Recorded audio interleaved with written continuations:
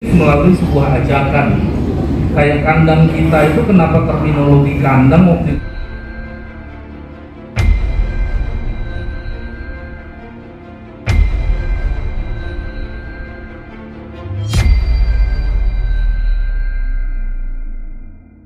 itu dipakai karena eh, pada waktu sisa kerajaan Majapahit kan mereka diisolasi di Bali. Iya. Nah, diisolasi di Bali kemudian eh, sampai hari ini desa adat di Bali berdiri dengan tegak karena memang mereka hidup dalam kekerabatan hasil dari isolasi tersebut. Nah, akhirnya yang related dengan zaman ini adalah kita cuma mau ngingetin sama teman-teman bahwa lepas dari kesukaan kita masing-masing terhadap genre apa pun, budaya apa pun, tapi satu poin yang kita harus sepakati bersama bahwa ini kandang kita dan ini tanah kita. Kira-kira kayak gitu.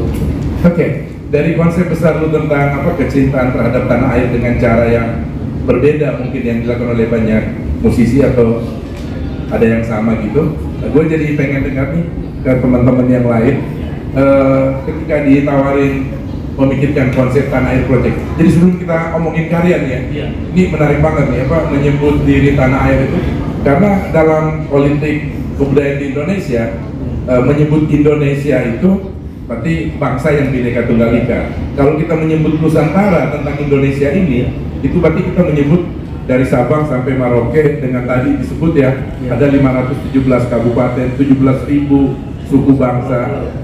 Itu luar biasa banget.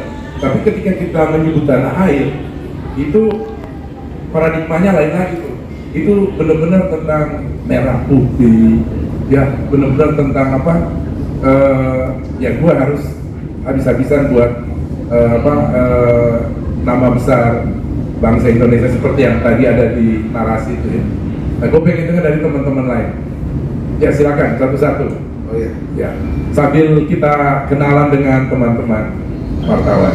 Halo teman-teman semua. Eh, gue kira eh, di Tanah Air Project ini gue main gitar. Kalau untuk gabung dengan Tanah Air Project, eh gue yang terakhir. Yang terakhir. Yang ter terakhir gitu. Oh. Gue sebelum. Jadi gue kenal sama Rangga ini udah lama banget. Lama ya. Iya. Rangga ini yang gue kenal ini orangnya konseptor. Dia punya pemikiran yang buat gue, wow.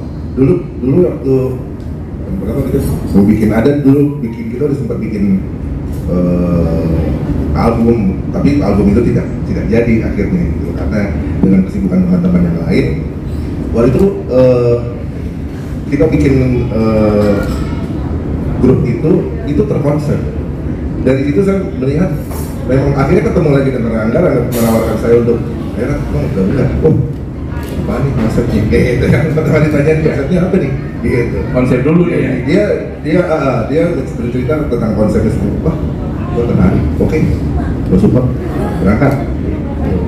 Jadi eh, se ya karena gue kenal lama gitu sama dia jadi ya easy aja gitu loh Tentang konsep tanah air, Iya. jadi kan eh, banyak ya eh, teman-teman kita yang lagi apa yang lagi viral di Amerika, ya Eh, banyak banget anak-anak Indonesia yang sedang memasukkan banyak unsur etnik ke dalam karya-karya mereka. Itu kan salah satu bentuk cinta tanah air.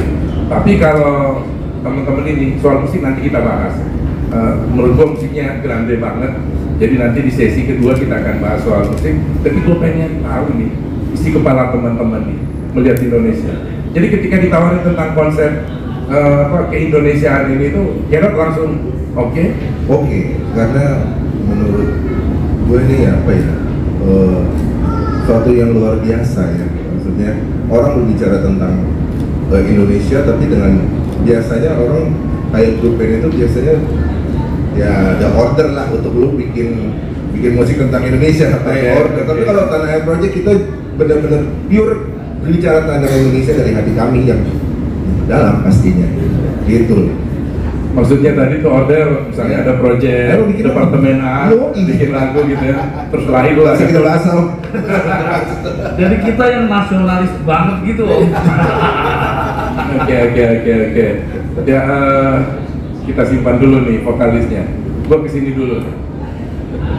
Ya, ya pinjam mikrofon. Ya, tadi konsep tadi kan diajak nih Oke. eh, sama sama sama konsep tadi.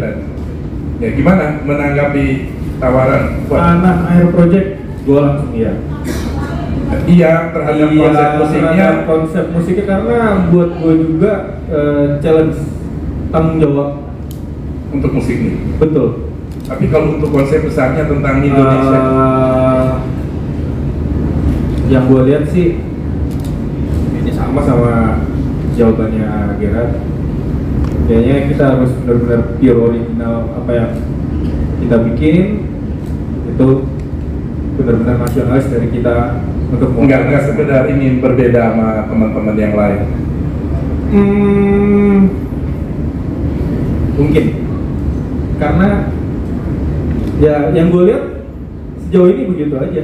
By order bikin pagelaran baru ada acara musik baru ya yang gue lihat nggak ada yang natural deh kayaknya kayaknya nggak ada yang natural deh kayaknya cuma takar project yang natural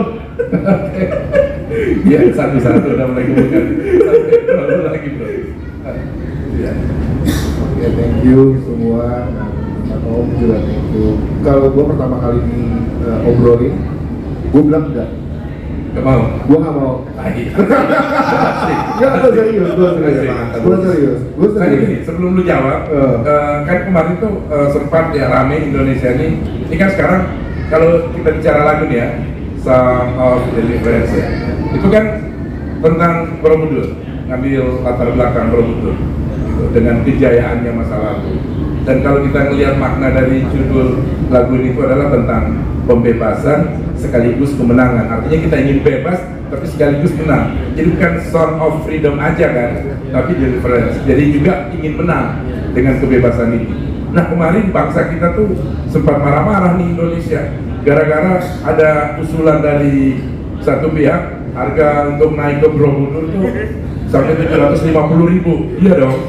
Gua kalau ke Jogja pasti ke Borobudur. Saking apa ya? Gue exciting banget tuh kalau melihat Borobudur. Lu, penolakannya gimana?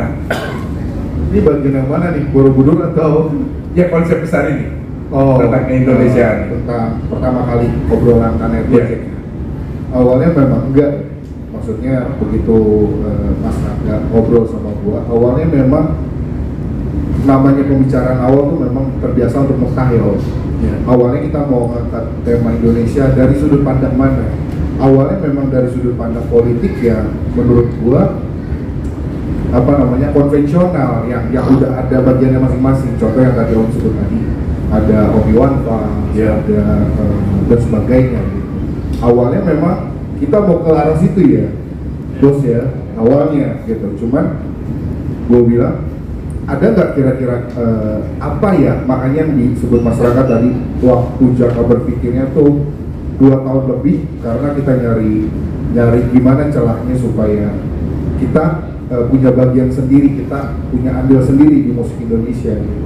Nah akhirnya berpikir-berpikir masyarakat tercetuslah eh, gimana kalau kita kampanyekan keindahan Indonesia? Lewat mana? Bisa lewat sejarah bisa lewat eh, keindahan-keindahan. Nanti mungkin eh, spoiler setelah lagu ini ada yang eh, kita pakai konsep ke- keindahan Indonesia sekarang macam. Nah, itu yang begitu dibilang itu gue langsung berubah stabil gue langsung iya gue bilang oke. Oke.